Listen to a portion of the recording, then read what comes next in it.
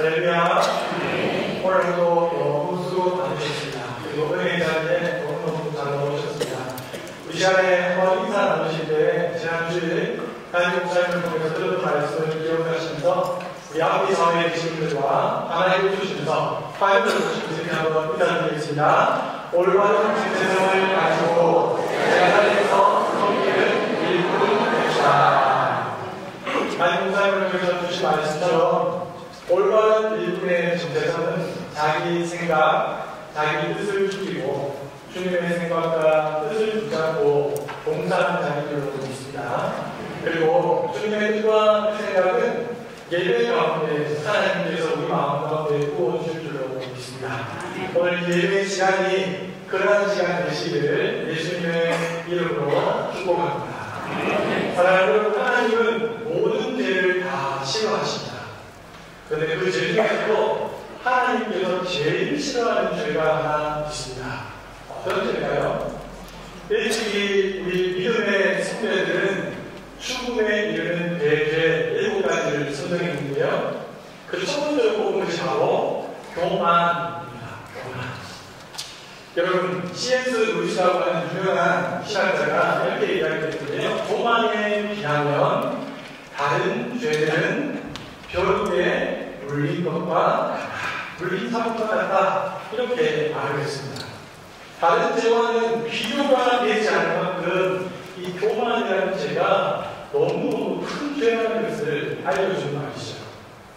성경도 모르고 하나님도 모르는 중국의 명나라에 양면학을 일으켰던 왕수이라고 하는 사람은 이런 말을 했습니다. 인생의 가장 큰 병은 오직 교만이다.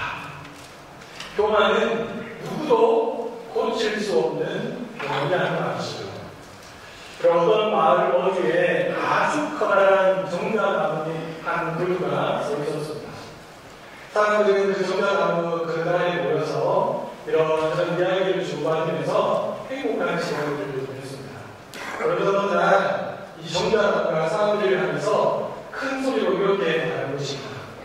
내가 너희들에게 그늘을 늘 제공해주니까 너희들 나에게 감사해야 해. 그 말을 듣고 사람들이 나무에게 감사합니다, 감사합니다, 라고 감사를 표현했습니다. 시간이 좀 더 지나서 이 정자나무가 사람들에게 이번에는 이렇게 말하는 것입니다. 너희들 이제는 이곳에 모르는 동안에 혹은 지날 때마다 나에게 절을 해야 돼. 만약에 절을 하지 않으면 내가 마을에 재앙을 일으킬 거야. 겁을 줬습니다. 그래서 사람들이 이제부터는 그 정자 나무에 지나갈 때마다 나무에게 절을 하면서 지나간다고 합니다. 시간이 갈수록 이 정자 나무의 교만이 점점 더 커져갔습니다.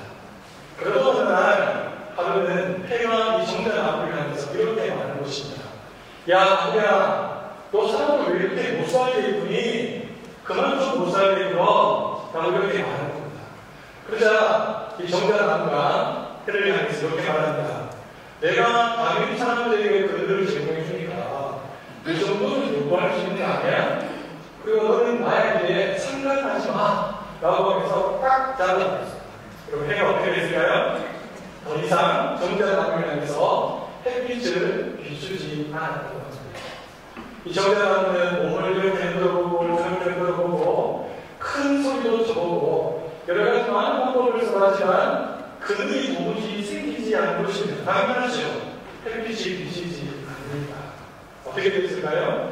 그늘이 생기지 않으니까 정자나무를 찾던 사람들도 하나 둘씩 찾아오지 않게 되고 햇볕에 가지 못했던 정자나무는 실실 말다가 죽었다는 아주 슬픈 이야기가 있습니다. 사랑하는 여러분, 우리는 정자나무 같은 사람들을 가리켜서 교만한 사람들이라고 합니다. 여러분, 이런 사람들의 특징이 뭡니까? 하나님께서 햇볕과 같은 은혜를 주셔서 잘될 것인데 그것을 다 무시하고 마치 자기가 잘해서 잘된 것처럼 그렇게 생각하고 살아간다는 것입니다. 하나님은 교만에 대해서 성경을 통해 우리에게 여러 차례 많은 경고를 해주셨습니다. 여러분 잠언 16장 18절 말씀을 우리 같이 한번 읽어보겠습니다. 교만은, 교만은 배망의 선봉이요 거만한 마음은 넘어짐의 앞잡이니라. 또 야고보서 4장 6절 하반절 말씀도 함께 읽어보겠습니다. 하나님이 교만한 자를 물리치시고 겸손한 자에게 은혜를 주신다 하였느니라. 여러분 하나님은 교만하는 자를 향해서 오래 참으십니다. 그러나 끝까지 참지는 않으십니다. 반드시 하나님은 교만한 사람을 물리치십니다. 때가 되면 그에게 비추었던 모든 햇볕을 하나님은 거두어 가십니다. 여러분 오바댜서는 에돔 족속의 교만에 대해 하나님께서 심판을 말하고 있는 경고의 메시지가 담겨져 있습니다. 여러분 에돔 족속이라고 하면 에돔은 누굴까요? 우리가 너무나 잘 알고 있는 야곱의 형 에서의 후손들이지요. 그러니까 야곱과는 형제지간이라고 볼 수가 있습니다. 그럼 이 에돔 족속의 교만은 무엇일까요? 3절 상반절 말씀을 보니까 이렇게 나옵니다. 바위 틈에 거하며 높은 곳에 사는 자여 내가 중심에 이르기를 누가 능히 나를 땅에 끌어내리겠느냐 하니 당시에 이 에돔 족속은 높은 바위 산들 위에 요새 같은 동굴을 파놓고 살았습니다. 성경학자들에 따르면 그들이 사는 곳까지 길은 꼬불꼬불 굽이치는 그래서 누구라도 쉽게 들어가서 정복하기 힘든 그런 지형에 살고 있었다는 것입니다. 외부의 많은 민족들이 한번 점령해 보려고 들어갔다가 전멸당하기 일쑤였다는 것입니다. 이 에돔 족속은 천혜의 요새에 살고 있었습니다. 여러분, 이 천혜의 요새는 누가 주신 것입니까? 하나님이 주신 것이죠. 그런데 에돔 족속은 이 하나님을 무시했고 더 나아가서 하나님의 심판도 피할 수 있다 라고 그렇게 생각했습니다. 여러분 이런 에돔 족속을 향해서 하나님께서 뭐라고 말씀하실까요? 3절 하반절 말씀을 보십시오. 너의 중심의 교만이 너를 속였도다. 4절을 보십시오. 내가 독수리처럼 높이 오르며 별 사이에 깃들을지라도 내가 거기서 너를 끌어내리리라. 나 여호와가 말하였느니라. 하나님은 이 교만한 에돔 족속을 심판하시겠다라고 이렇게 말씀하신 것입니다. 여러분, 에돔 족속의 교만은 하늘을 찔렀습니다. 그리고 결국 이 에돔 족속의 교만은 그의 형제였던 야곱 족속을 향해서 너무나도 흉측한 모습으로 드러나기 시작합니다. 그렇기 때문에 하나님은 더는 참지 않으시고 내가 반드시 저들을 심판하겠다고 말씀하신 것이죠. 자, 그렇다면 에돔 족속의 교만은 어떻게 드러났을까요? 우리 첫째 같이 한번 읽어보겠습니다. 야곱 족속에게 잔인한 폭력을 행했습니다. 10절 말씀을 함께 읽겠습니다. 내가 내 형제 야곱에게 행한 포악을 인하여 수욕을 입고 영원히 멸절되리라. 아멘. 하나님은 에돔 족속에게 네가 네 형제 야곱에게 포악을 행했다 이렇게 말씀하십니다. 여러분 여기서 나오는 포악이라는 단어는 히브리어로 우리가 많이 들어본 단어인데요. 하마스입니다. 하마스. 예. 이 하마스의 뜻이 뭐냐니까 폭력, 난폭 이런 뜻입니다. 아모스 1장 11절에 가면 에돔 족속의 포악에 대해서 이렇게 설명하고 있습니다. 에돔의 서너 가지 죄로 인하여 내가 그 벌을 돌이키지 아니하리니 이는 저가 칼로 그 형제를 쫓아가며 긍휼을 버리며 노를 항상 맹렬하며 분을 끝없이 품었습니다.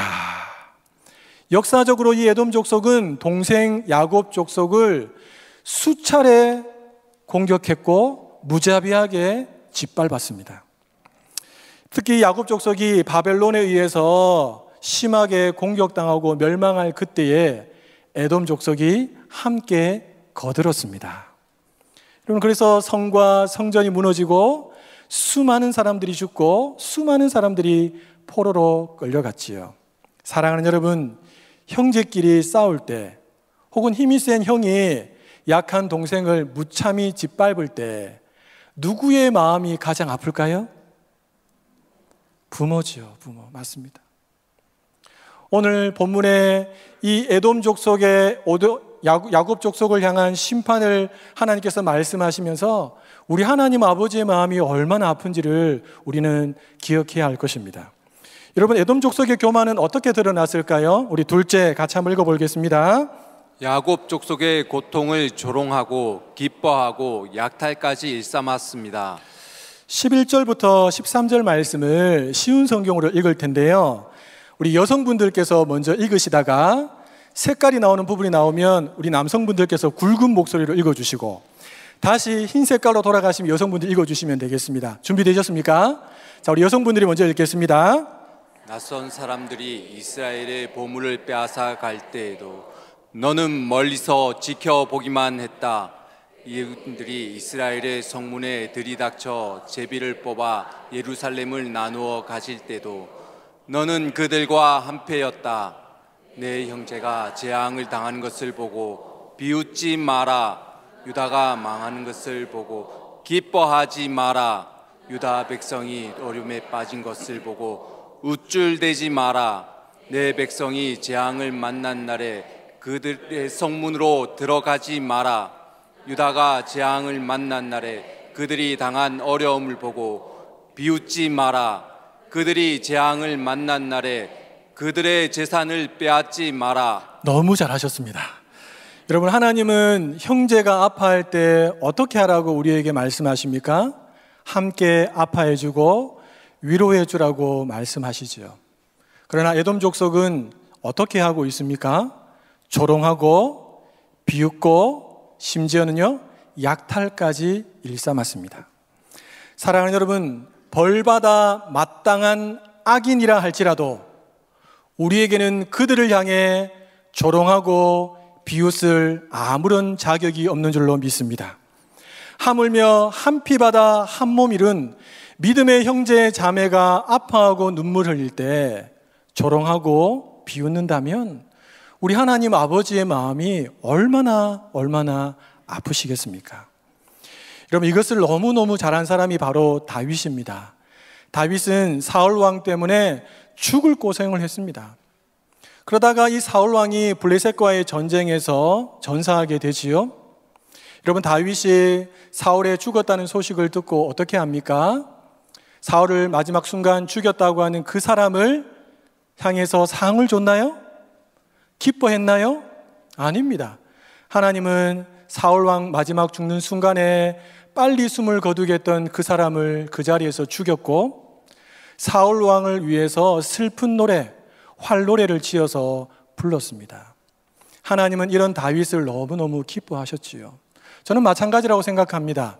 우리 믿음의 형제 자매들 중에 아파하고 힘든 분이 있을 때 그분이 나에게 때로는 모질게 대하고 아프게 대했다 할지라도 그 순간에 비웃고 조롱하는 것이 아니라 함께 아파해주고 위로해줄 때 하나님의 은혜가 우리 가운데 더 크게 부어지게 될 줄로 믿습니다. 정리하면 하나님께서 이 에돔 족속을 심판하시겠다고 하신 이유는 첫 번째로 형제인 야곱 족속에게 잔인한 폭력을 행했기 때문이고 두 번째는 형제인 야곱 족속이 고통 가운데 있을 때 조롱하고 비웃고 약탈했기 때문이라는 것입니다. 자, 그런데요. 이 오바댜서는 15절 상반들에서 에돔 족속을 벌할 날이 가까워왔나니라고 하지 않고 여호와의 만국을 벌할 날이 가까워왔느니라고 이렇게 말하고 있습니다. 왜 만국이라고 표현을 했을까요? 에돔을 향한 하나님의 심판은 당연지사고 에돔처럼 그렇게 교만하게 굴게 되면 그 어떤 민족이나 나라라도 하나님이 심판하시겠다고 하는 경고의 메시지가 담겨져 있습니다. 그러니까 야고보서 4장 6절의 말씀 하나님이 교만한 자를 물리치시고 라는 말씀은 진리지요. 우리 옆에 분들에게 이렇게 한번 인사 나누시면 좋겠습니다. 교만하면 하나님이 물리치십니다. 교만하면 하나님이 물리치십니다. 절대 교만하지 맙시다. 절대 교만하지 맙시다. 감사하게도 이 오바댜서는 교만한 에돔 족속과 망국을 벌하겠다는 하나님의 심판에 대한 결심으로 끝나지 않고 무너진 야곱 족속을 향한 회복의 약속의 말씀을 주므로 마무리되고 있습니다. 여러분 17절과 18절 말씀을 한번 띄워 주시겠습니까? 여러분 이 말씀을 한번 자세히 보십시오. 하나님은 시온산 거룩한 산 그 성산을 만들겠다 이렇게 선언하고 계십니다. 그리고 그곳에 야곱 족속이 다시 거하게 하겠다라고 하시죠. 이 예언은 실제로 포로 귀환을 통해서 1차적으로 이루어집니다. 더 놀라운 것은요. 하나님께서 이 야곱 족속을 불로 그리고 요셉 족속을 불꽃으로 사용하셔서 초계, 즉 지푸라기 같은 이 에소 족속을 멸하시겠다고 말씀하신 것입니다. 자, 그런데요. 성경학자들에 따르면 이 완전한 회복을 의미하는 이 예언은 아직까지도 일어나지 않았다라고 말하고 있습니다. 그럼 도대체 이 예언은 언제 가면 다 이루어지는 것일까요?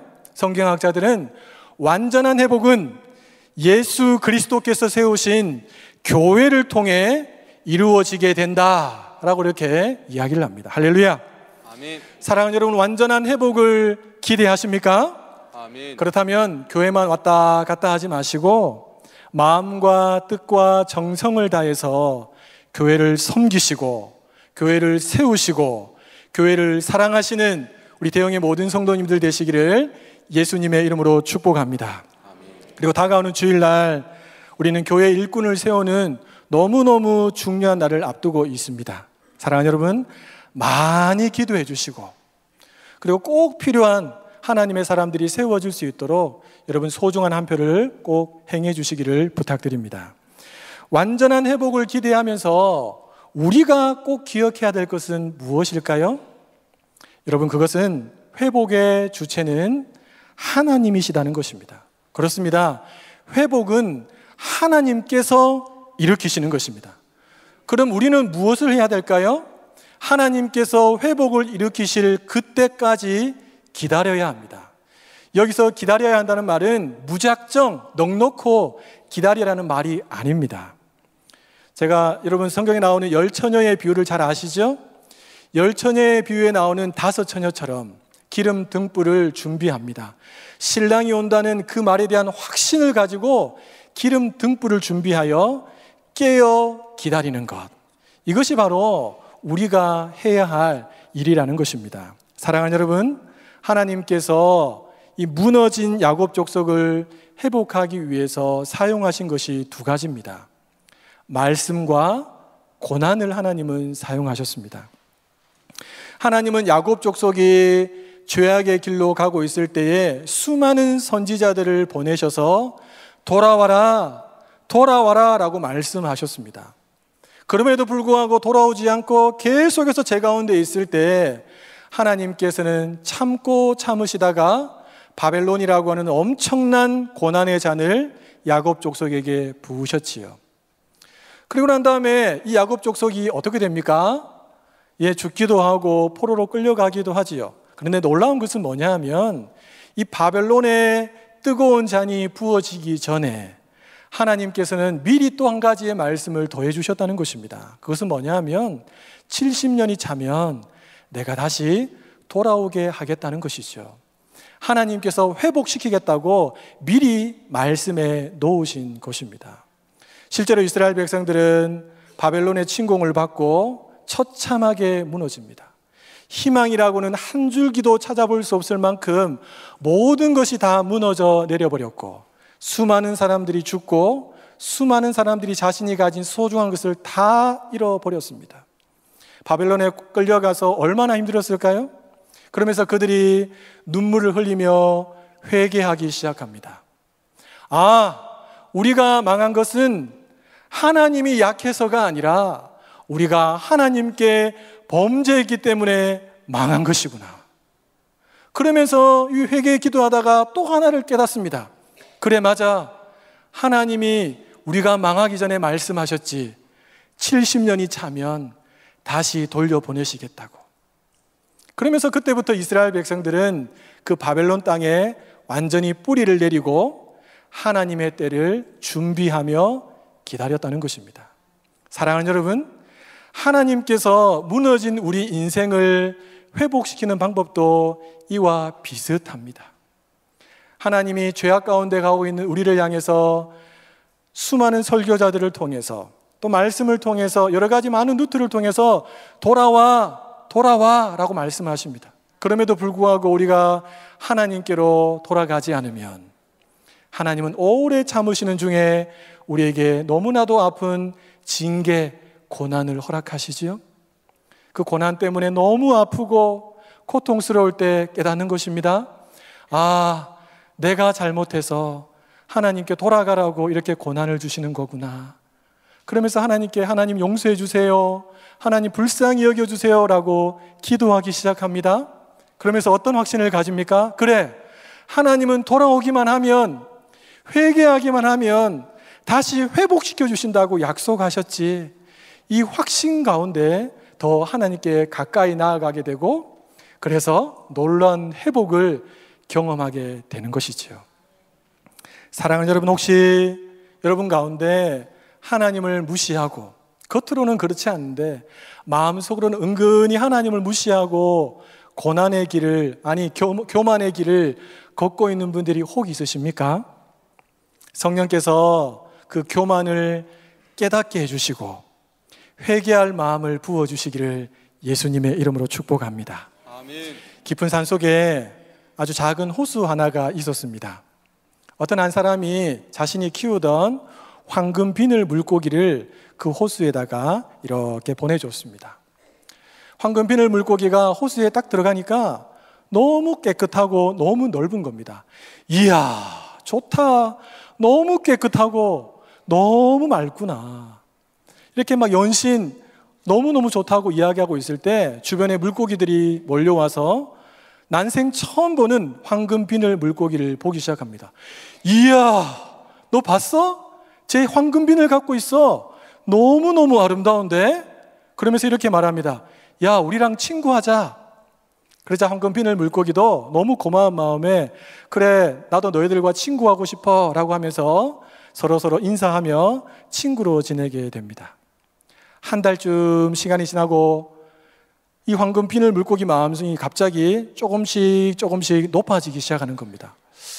나는 쟤네들이 없는 황금 비늘이 있는데 나는 쟤네들보다 훨씬 더 아름다운데 내가 쟤네들보다는 높지.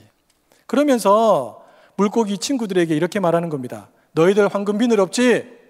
나보다 더 빛나지 않지? 그러니까 이제부터 내 말 좀 들어. 내가 시키는 대로 해. 라고 하면서 함부로 물고기들을 대하기 시작했습니다. 그 강도가 점점 세지자 물고기 친구들이 상처받기 시작하고 서로의 상처를 나누기 시작하고 그러면서 황금 비늘 물고기를 서서히 떠나가기 시작했습니다. 조금 시간이 지나자 황금 비늘 물고기는 외톨이가 됐습니다. 왕따가 됐습니다. 아무도 자기에게 찾아와서 놀아주는 친구가 없었습니다. 이런 마음의 병이 들고 몸이 아파오기 시작하고 시름시름 앓고 병이 점점 깊어질 그 찰나에 이 황금 비늘 물고기가 깨달았습니다. 내가 잘못했구나. 내가 친구들에게 함부로 했구나. 내가 교만했구나. 이렇게 깨달은 겁니다. 은혜지요? 그리고 이 황금 물고기가 친구들에게 찾아가서 용서를 구합니다. 내가 잘못했어. 용서해줘. 다시는 안 그렇게 제발 용서해줘. 싹싹 빕니다. 그러자 물고기들이 그래 알았어 용서해 줄게 라고 하면서 그 황금 비늘 물고기를 받아줍니다. 그때 이 황금 비늘 물고기는 자기를 용서해 주었던 그 물고기 친구들에게 자기 몸에 붙어 있는 황금 비늘을 하나씩 떼서 용서의 증표로 이렇게 나누어 주었습니다. 호수 안에 있는 모든 물고기들에게 용서를 구하고 또 증표를 하나씩 하나씩 다 주고 이전과 똑같이 너무나도 행복하고 즐거운 호수 생활을 하고 있었습니다. 한참의 시간이 흘러서 황금 비늘 물고기의 주인이 깊은 산속 호수를 찾아옵니다. 내가 놓아준 물고기가 잘 살고 있는지 궁금해서 찾아온 겁니다. 그런데 호수를 보는 순간 이 주인이 깜짝 놀랍니다. 왜냐하면 이 호수가 황금색으로 뒤덮여져 있었기 때문입니다. 그래서 이 주인이 그 호수의 이름을 황금 호수라고 지어준 전설을 따라 내려온 유명한 이야기가 있습니다. 사랑하는 여러분, 하나님께서는 우리 각자에게 황금 비늘 같은 것들을 주셨습니다. 어떤 분에게는 물질이라고 하는 황금을, 어떤 분에게는 건강이라고 하는 황금을, 어떤 분에게는 지혜와 지식이라고 하는 황금을 다양하게 하나님 우리에게 황금 비늘 같은 것들을 주셨어요. 그런데 하나님이 주신 이것에 대해서 마치 내가 잘해서 나에게 주어진 것이냐 마음이 높아지고 그로 인해서 사람들을 함부로 대하고 또 조롱하고 비웃는 그런 사람들이 하나 둘씩 있는 것을 우리는 종종 볼 때가 있습니다. 여러분, 이렇게 살면 어떻게 될까요? 병을 얻었던 황금비늘 물고기처럼 외톨이가 될 겁니다. 마음에 병이 생길 거고 몸도 점점 힘들어질 겁니다. 이 길은 정자 나무처럼 죽음으로 가는 길입니다. 깨달아야 합니다.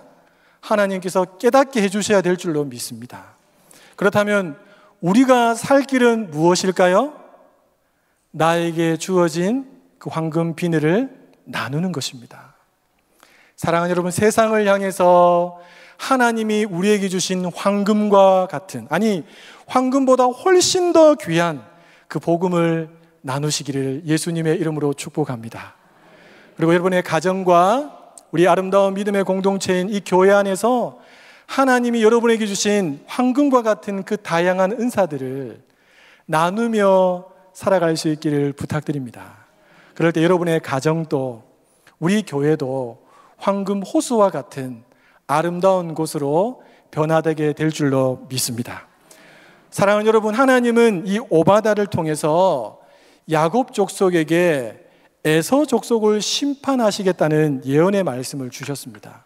왜 이 말씀을 왜 에서 족속의 심판 말씀을 야곱 족속에게 주신 것일까요? 그 이유는 내가 널 회복시키면 너는 다시는 교만하면 안 돼. 네 옆에 형제가 힘들 때 비웃고 짓밟으면 안 돼. 그러면 내가 다시 널 물리칠 거야. 라는 메시지를 하나님은 야곱 족속에게 주기를 원하셨습니다. 사랑하는 여러분, 이 말씀을 나를 향한 레마의 말씀으로 받으시기를 예수님의 이름으로 축복합니다. 그래서 모든 교만을 물리치시고 성령의 인도를 따라 삶으로 겸손의 대가이신 예수님을 점점 더 아름답게 닮아가시는 우리 모든 성도님들 되시기를 예수님의 이름으로 축복합니다. 우리 기도 제목을 함께 읽겠습니다. 하나님 아버지, 내 안에 애돔 족속 같은 교만이 있음을 고백합니다. 형제 자매를 말과 행동으로 아프게 한 것을 용서하여 주옵소서. 또 고통 중에 있는 형제 자매를 조롱하고 비웃고 짓밟았던 것도 용서하여 주옵소서. 교만의 길에서 회복으로 가길 원하오니 성령 충만으로 사로잡아 주옵소서. 예수님 닮은 겸손의 사람으로 살아가게 하옵소서. 아멘. 우리 이 기도 제목을 가지고 함께 기도하겠습니다. 하나님 아버지 감사합니다. 오늘 오바다서의 말씀을 통하여서 하나님 아버지 내 안에도 에돔 족속 같은 교만이 있음을 보게 해 주시니 감사합니다. 하나님 아버지 믿음의 형제 자매들 하나님 그들이 아파하고 힘들어할 때 하나님 아버지 함부로 대했던 것들 비웃었던 것들 조롱했던 것들 하나님 용서하여 주옵소서. 말과 행동으로 그들의 마음에 상처를 줬던 것들 용서하여 주옵소서. 마음이 높아지고 하나님 생각이 높아지고 하나님 사람들을 함부로 대했던 것들 용서하여 주시옵소서. 하나님 이 모든 교만의 길에서 이제는 회복의 길로 가기를 원하오니 오직 성령의 충만함으로 우리를 사로잡아 주시옵소서. 하나님 해가 거듭될수록 예수님을 닮아가는 진짜 겸손의 사람으로 살기를 원하오니 하나님 우리에게 은혜를 베풀어 주시옵소서.